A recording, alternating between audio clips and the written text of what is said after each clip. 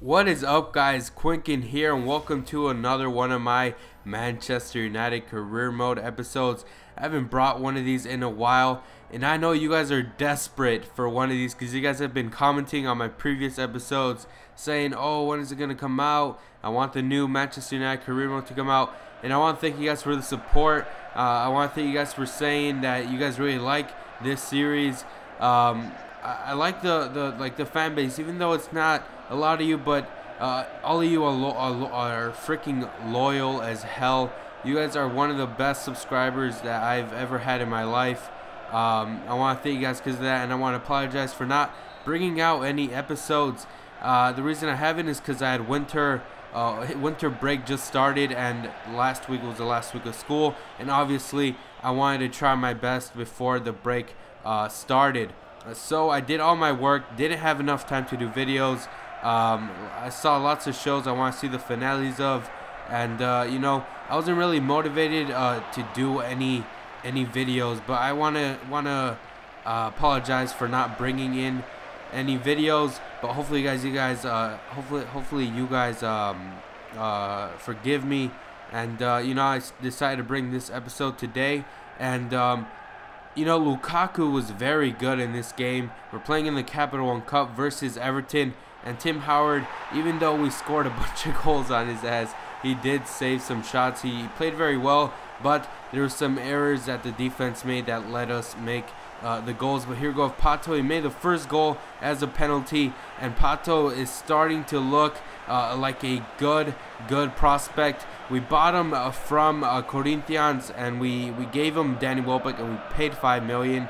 But he's starting to look like uh, a very good player. Uh, I didn't know he was going to be this good. He's outshining uh, Robin Van Persie, and so is Macheda. Macheda, you guys are going to see the goal he makes. It was spectacular, and he gave us a lead. Uh, uh, when you guys see that, he gave us a lead there. But De Gea, or I mean Lindegaard, had a spectacular game today. De Gea was uh, low on fitness, and I decided to put in Lindegaard. My man Lindegaard, very, very good goalie, but this was the last chance we had uh, in the first half of Ashley Young. It hits the damn post. It hits the damn post. I don't know how the hell that didn't go in. Tim Howard with a spectacular one-hand save, or it was a two-hand save. I really don't know, but it doesn't matter because he saved it. Hits the post, and it goes out for the corner kick. And oh my freaking god, this was the last chance. We headed it, and it goes over the crossbar. We go to halftime winning 1-0. We were playing very well. Uh, Everton not doing that much. And I want to tell you guys I am playing on world class, so it's a little hard. Um, you know, it kind of pisses me off the goals that they make on me. They're not even good goals.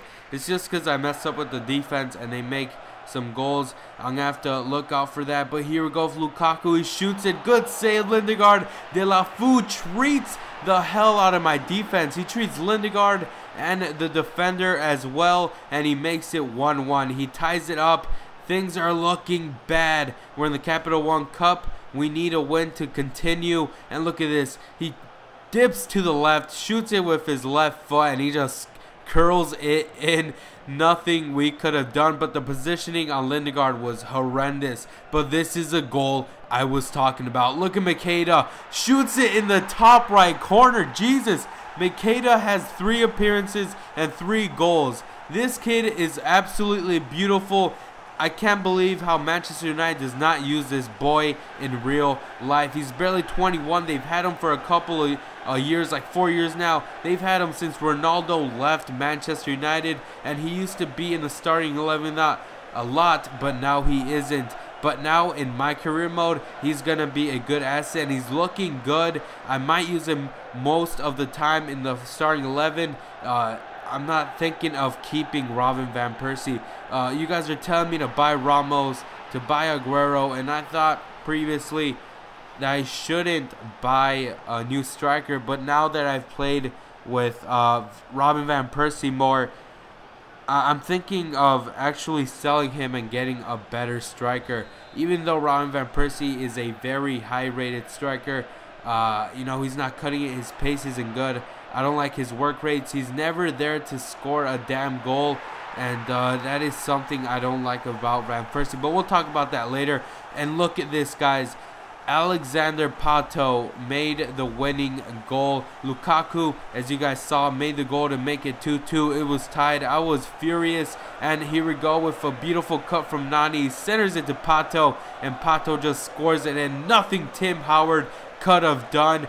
The American goalkeeper. And a beautiful goal by the Brazilian uh, player. And this, you know, Everton in the last 10 minutes, they were trying to score goals on me. Look at all these chances. Lukaku gets unmarked. He shoots it. Good save by Lindegaard. And another attempt here. They were trying to tie the game up and possibly win it. I was trying my best to defend. Look at this.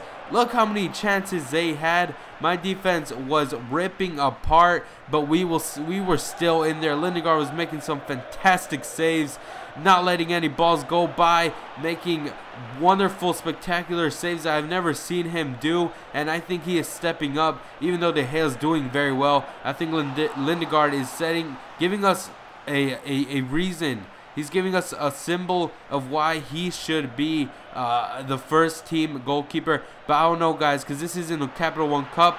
It is Everton. They are a very good team. Oh, well, decent, and they're one of the good, uh, better teams in England. And this was the last chance we had with Wilfried Zaha. He got in between two defenders beautifully. His dribbling is spectacular, and he just got in between them, shot it. Uh, but it remained 3-2. We win at home versus Everton, and we continue in the Capital One Cup. And that was a very good game. Two goals from Pato and a goal from Macheda, but we have bad news again. Rafael got injured, broken toe in the training, and that isn't right. Uh, but uh, we'll go into the second game right now, and things are looking bad. I'm thinking of buying a new right back because I don't think Phil Jones is good enough. His pace is 69. How are you a right back and your pace is 69? But look at us. We're in first place, 23 points, and we need a win so we could get a, a difference, uh, a bigger difference in the table from Liverpool and Spurs. I can't believe Liverpool are having a good year this year. They're right behind us.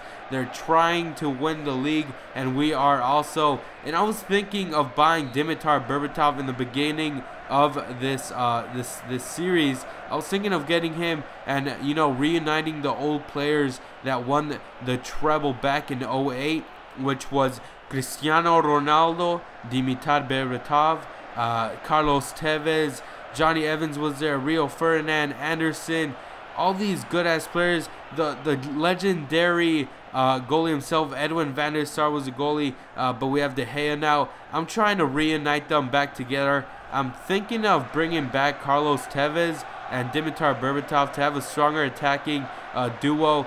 But uh, there, there's the chance that almost made me piss my pants.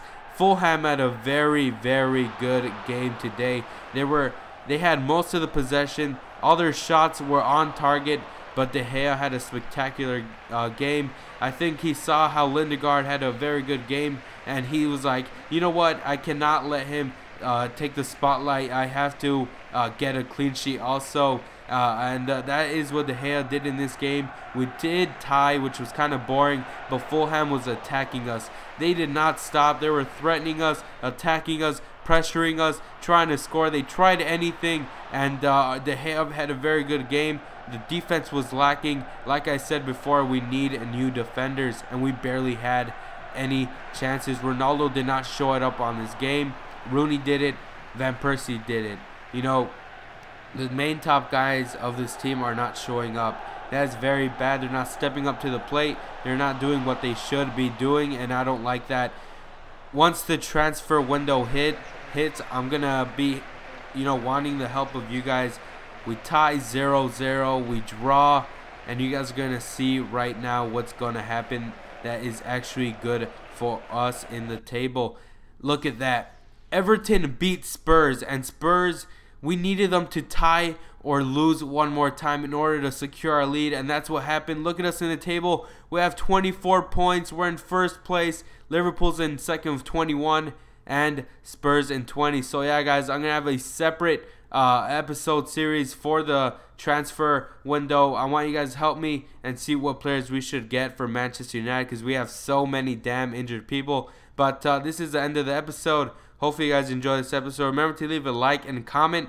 I, I like comments more. Uh, but if you leave a like, it also helps me out so other people could watch my video. And if you're new, subscribe. I do Manchester United career mode. I do any career mode. I might start up a player, my player career mode, but uh, that's in the future. And, uh, you know, I've been Quinkin. Hope you guys enjoyed.